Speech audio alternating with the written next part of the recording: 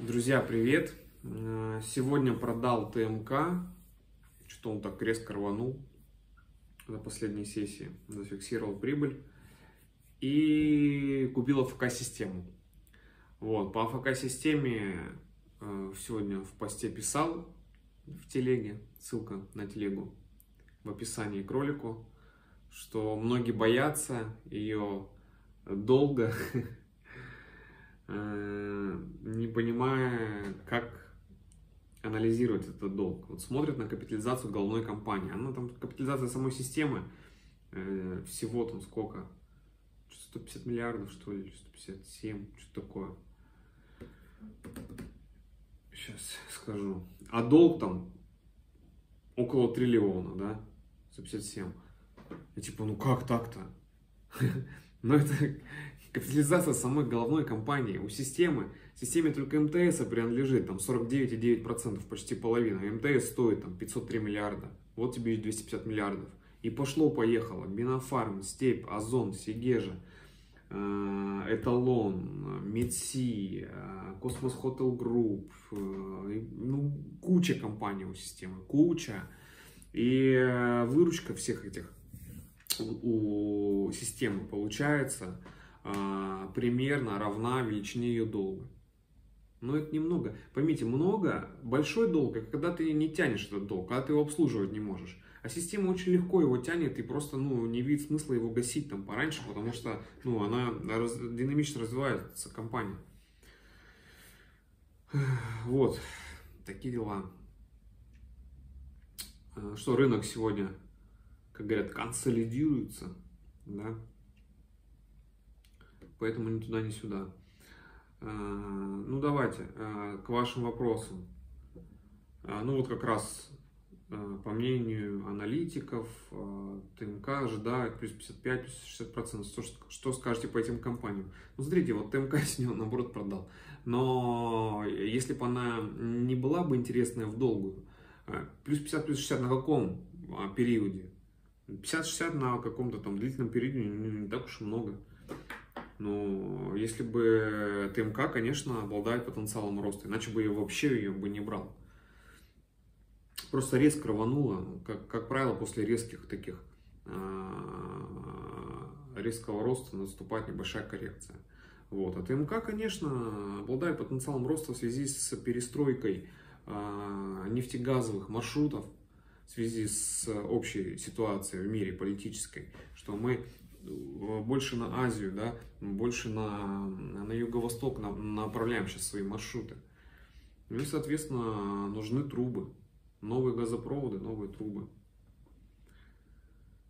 Ну, вообще у нас в стране там очень много э, этих интересных маршрутов. Вообще, во-первых, газификация России, во-вторых, там Восток Ойл. Да, это просто мега проект. Везде нужны трубы. Так, э, следующий вопрос. Совкомфлот, дикий взлет, который не прекращается. Брали бы, когда ждать падения для покупки? Совкомфлот тоже входит в мой инвестиционный рейтинг. А, почему растет и почему входит в рейтинг? Потому что а, ну, недостаток судов, танкеров в мире вообще сейчас. И ставки фрахта очень сильно растут и растут, растут. А, естественно, покупая компанию, мы смотрим на то, как растет ее продукт да, если это там нефтянка, нефть, если это там, э, не знаю, там, э, Черкизово, да, грубо говоря, это стоимость курятины, если это Совкомфлот, это стоимость фрахта.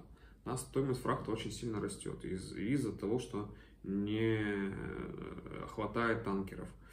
Вот. И вообще Совкомфлот ну, а, обновляет свой флот, он, он, он активно работает в этом направлении.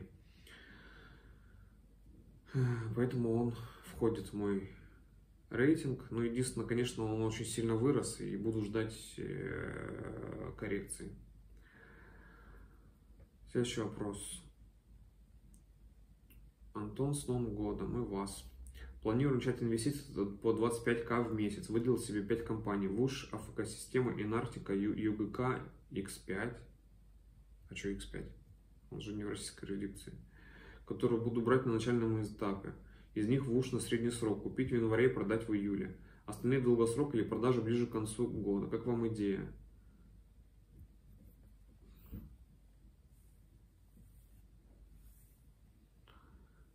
Мало компаний, мало. 5 компаний, это что, по 20% каждая? Это много слишком. Помните э, мой портфель э, в конце прошлого года, как он летел вниз? ДВМП Селегдар его тащили. Представьте, какая-нибудь две компании, какой-нибудь ваш тоже полетят вниз, и весь, весь портфель тоже. Надо, ну, я пришел к тому, что э, курочка по зернышку. к этому давно пришел, но в плане того, что не зависит сильно от одной компании в портфеле. Вот. Но X5 я бы не брал, остальные, да, поработайте с долями.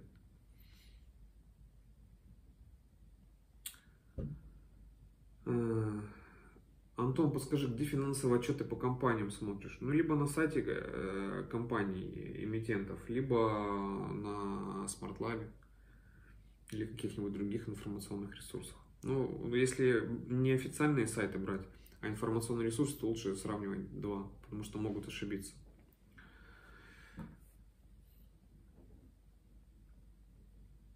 Транснефть будешь брать пока дешево? Нет, пока не буду брать.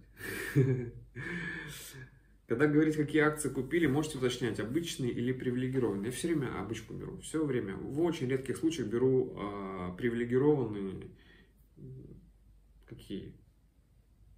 Этот, Сургут, нефтегаз, префы. Ну, потому что они, там префы интереснее. Потому что по ним дивы там поинтереснее. А все остальное я обычку беру. Исключение Сургут. Задавайте вопросы, получайте ответы. Всем пока.